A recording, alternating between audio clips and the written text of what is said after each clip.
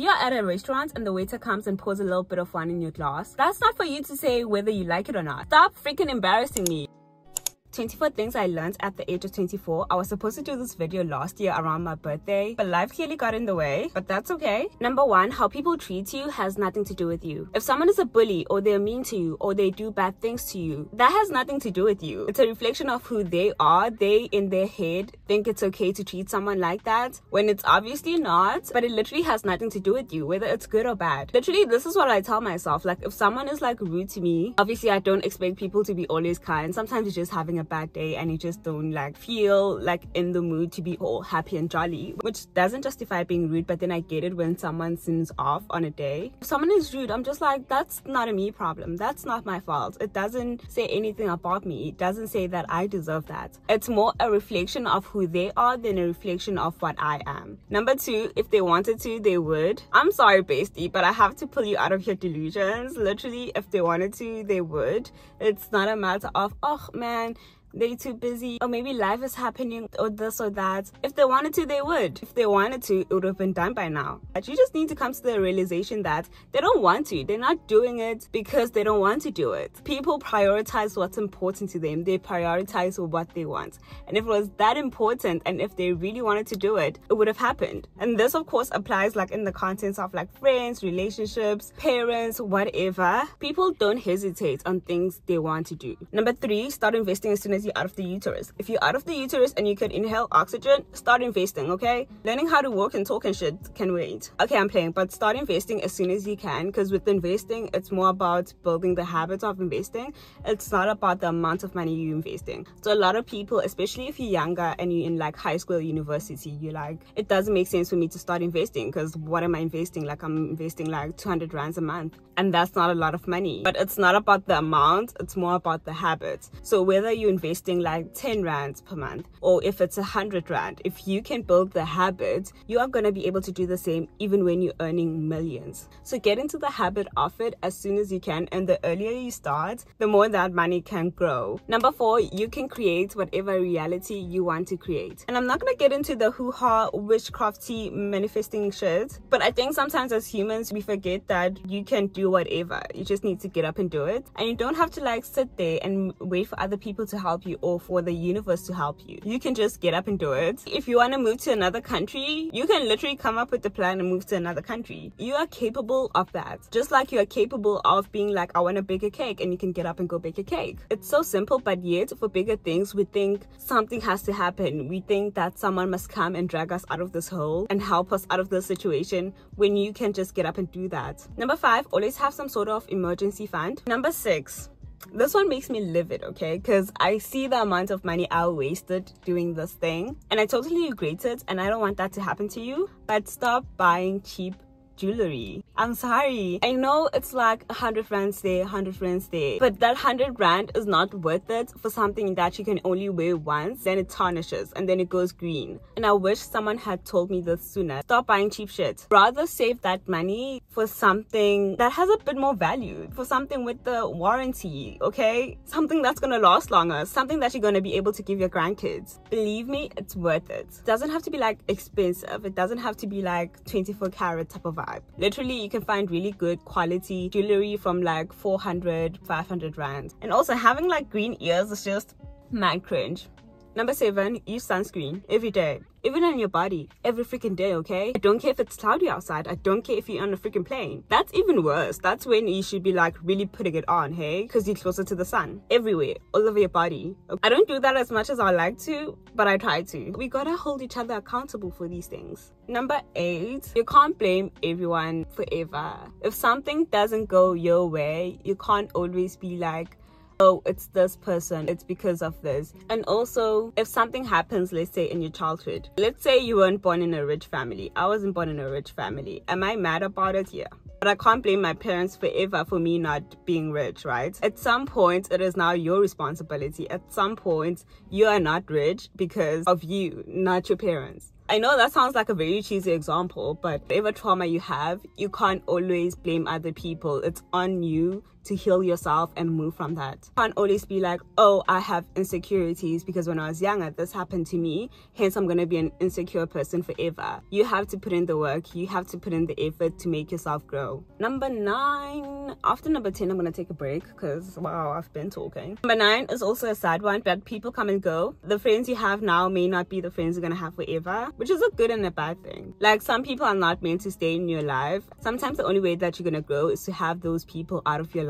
And sometimes as you grow, you're gonna grow separately from the people you know now, and that's okay. Sometimes you're just like, damn, man, freaking good riddance. Because some people just be pulling you back for no freaking reason. There's some people in my life where i'm just like i am so glad that person is like out of my life. And there's some people where i feel sad but also i can appreciate the memories i had with them but also still be like appreciative of where i am now. Some people are gonna go but no better people are coming. That narcissistic boyfriend that you're crying over right now is gonna go and someone better is gonna come okay? Okay number 10 i don't know how to put this like the right way. It's all about perception. How you perceive yourself has a huge impact on how you process information from the world. I'm not sure if you've heard about the SCAR experiment, but basically these group of people were told you're gonna go out as your normal self and you're gonna like interact with people, come back, tell us how you feel, and then after that, we're gonna put like a scar on your face using professional makeup, and then you're gonna go out again and tell us your experience, and then the third time around, we're gonna remove the scar and then you're gonna go back. So what happened was that the first time. They went to talk to people. They felt like the people were very kind to them. Everyone was just like willing to get to know them. And then after they got the scar when they went back to the crowd they felt like people were very negative and they weren't as nicer as in the first round. In the third round they were told that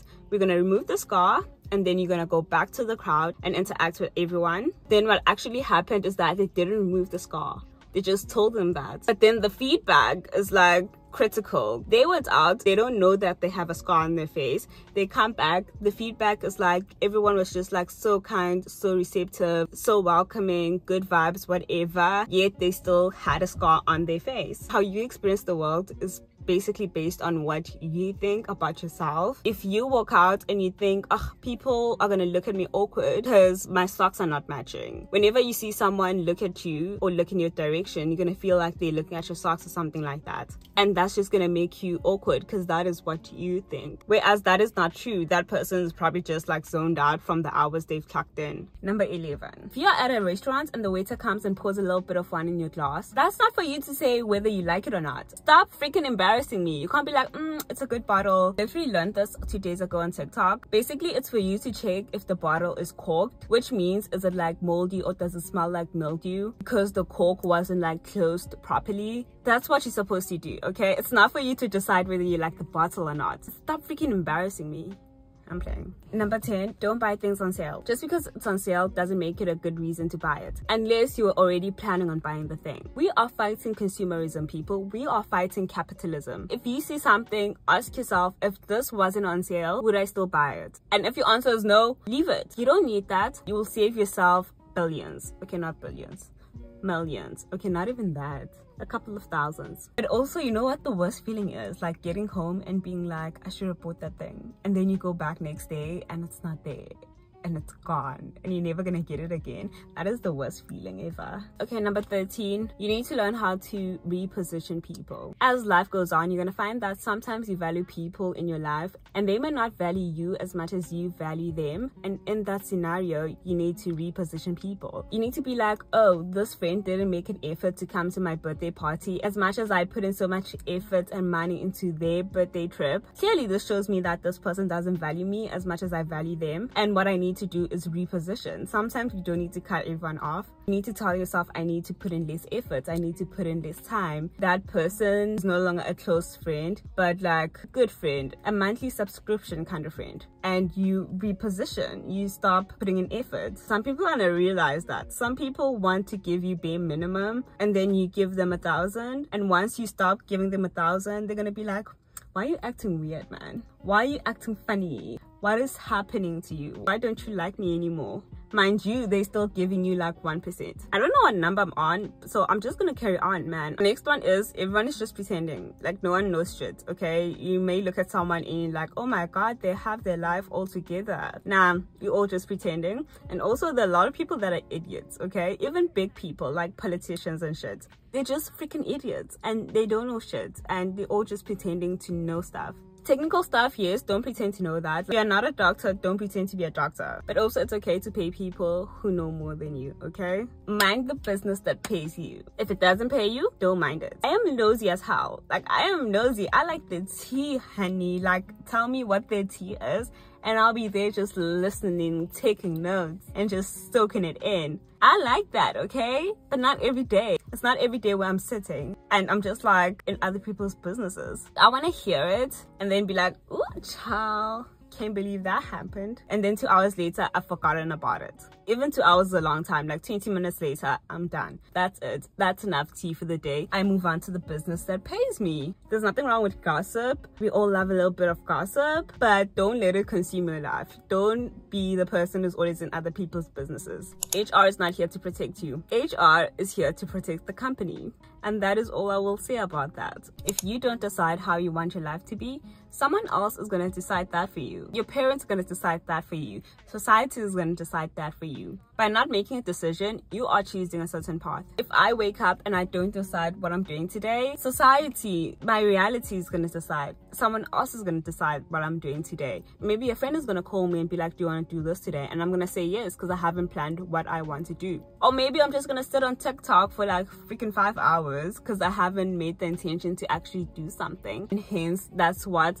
society wants me to do if you don't decide and put in the intention someone else is going to decide. If you don't pick a career path your parents are going to decide. Your society is going to decide for you based on your marks or what you can do. So you need to be able to make the big decisions in your life. But this one this one is very critical. I also learned this on tiktok. You can send your flight number to someone like as a message and on your iphone you can like click on it and it tells you like the flight details.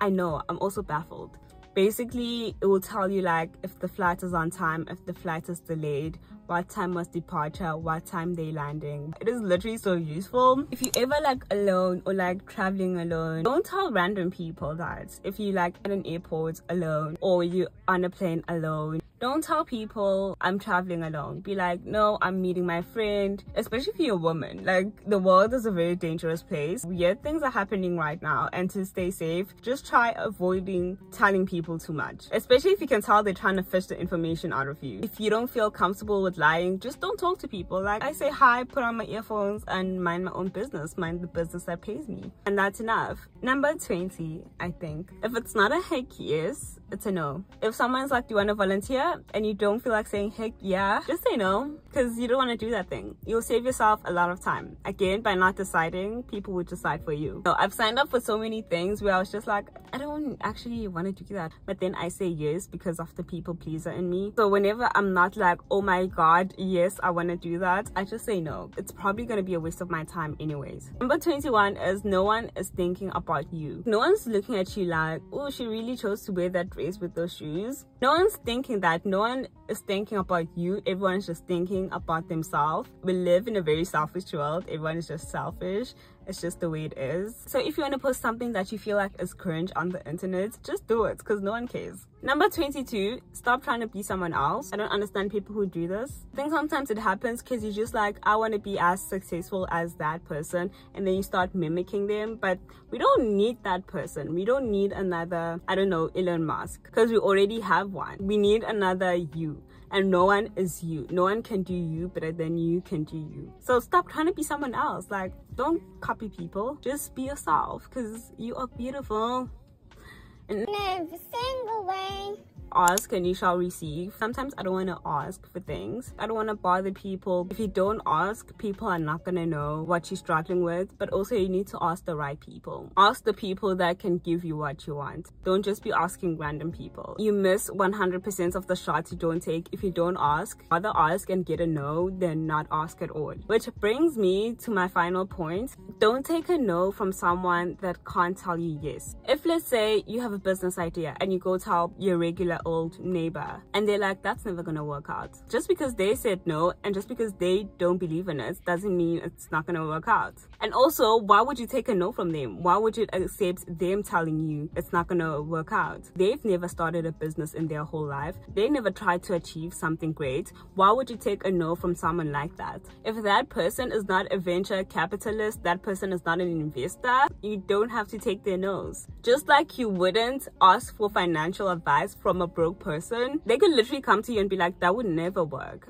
but how do they know? They're not in the position to tell you yes. Stop taking advice from people who you don't want to be. If you want to be a business owner take advice from people who are in the position you want to be at. Don't take advice from any old tom dick and harry. Take advice from only the people who are at where you want to be from the people who've gained the experience from the people who've walked the journey before you. Not everyone. I hope you guys enjoyed. Don't forget to like and subscribe and i hope you guys had a good week